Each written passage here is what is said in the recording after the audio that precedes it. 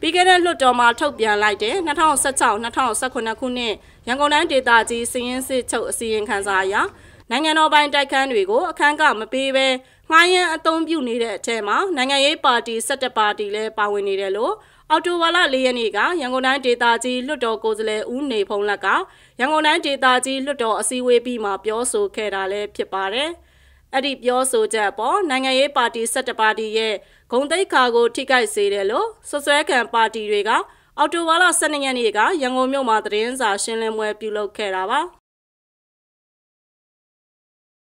အဲ့ဒီအခမ်းအနားကအကျွေးတွေရှိတယ်ဆိုတဲ့ပါတီနာမည်စရင်းပေါ်ပြတဲ့နေရာမှာမြန်မာမျိုးသားကွန်ဂရက်ပါတီကျွန်တော်ဥက္ကဋ္ဌတာဝန်ကလည်းမြန်မာမျိုးသားကွန်ဂရက်ပါတီပါတယ်နောက်တစ်ခါဒီမျိုး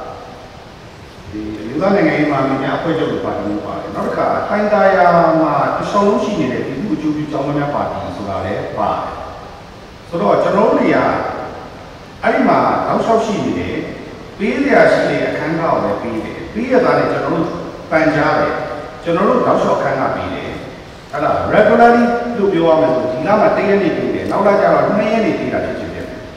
ဒီနေ့ဒီလအတွက်တစ်ရက်နေတစ်နာရီမှာ နောက်လာတော့လည်းတစ်ရက်နေတစ်နာရီမှာဆိုတဲ့ regularly ပေးတာမျိုးမဟုတ်ဘူးသို့တော့ကျွန်တော်တို့ဘာမှမပေါင်းမချော်ဘူးရက်အနည်းငယ်ကျော်သွားရင်သူ့ရဲ့သက်ဆိုင်ရာခံကြီး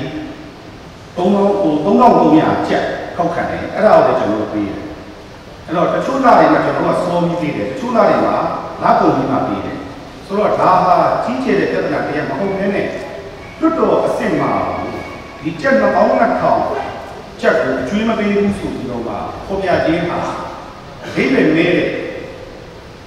နိုင်ငံရေးပါတီများနဲ့ပြည်သူလူထုကြားထဲမှာထင်အောင်ထင်မှားဖြစ်အောင်တသက်ပုံဖြတ်ပြောဆိုဝါဒဖြန့်ချီခြင်းပဲလို့ကျွန်တော်ဒီနေ့ဆွဆွဲလိုက်ပါဒါအပြင်ဥနေဖုံးလက်ရဲ့ဆွဆွဲချက်တွေဟာအချိန်မြင့်မရှိတာကြောင့်တိကျခိုင်မာတဲ့သတင်းအချက်လက်တွေနဲ့အတူကိုကားထားတာလည်းမရှိဘူးလို့ဆွဆွဲကံပါတီဝင်တွေကပြောပါတယ်။နိုင်ငံတော်စီကငှားရမ်းအသုံးပြုထားကြောင်းနဲ့အိုးအိမ်ကစာရွက်စာတမ်းအထောက်ထားတွေနဲ့ အခန်းကပေးသွင်းထားတဲ့ဘန်ချလန်တွေလည်းတပ်တည်အဖြစ်တည်ရှိနေတာလည်းဖြစ်တယ်လို့ပြောပါတယ်။ဒီမိုင်းရကိစ္စကျွန်တော်ပါတီတွေပါပါတယ်။ဒါကျွန်တော်တို့ဟိုဒီလွတ်တော်ကိုယ်ကလွတ်တော်မှာတိကျတဲ့ရင်းချက်လက်တွေဆင်းရဲစရာတွေမရှိဘဲနဲ့ဆင်းရဲအဟောင်းတွေကိုယူပြီးတော့အိုးအိမ်လိုပါလို့တွားပြီးတော့လည်းဒီစုံစမ်းတာမဟုတ်ဘဲနဲ့လွတ်တော်လူနေရာမှာတင်တဲ့ကိစ္စကလွတ်တော်တော်တိကျကြတယ်ကျွန်တော်မြင်တယ် ဦးနေဖုံးလက်ရဲ့ပြောဆိုချက်တွေဟာနိုင်ငံရေးအရပုံဖြတ်လိုတဲ့အတွက်ရည်ရွယ်ချက်ရှိရှိပြောဆိုခဲ့တာလည်းဖြစ်တယ်လို့ပြောပါတယ်။ခန်းကမပေးဘဲငှားရမ်းအသုံးပြုတယ်ဆိုပြီးဆွဆွဲခံရတဲ့နိုင်ငံရေးပါတီတွေဟာပြည်ထောင်စုကြံ့ခိုင်ရေးနဲ့ဖွံ့ဖြိုးရေးပါတီနဲ့မဟာမိတ်ဖွဲ့ထားတဲ့ပါတီဝင်တွေလည်းဖြစ်ပါတယ်ရှင်။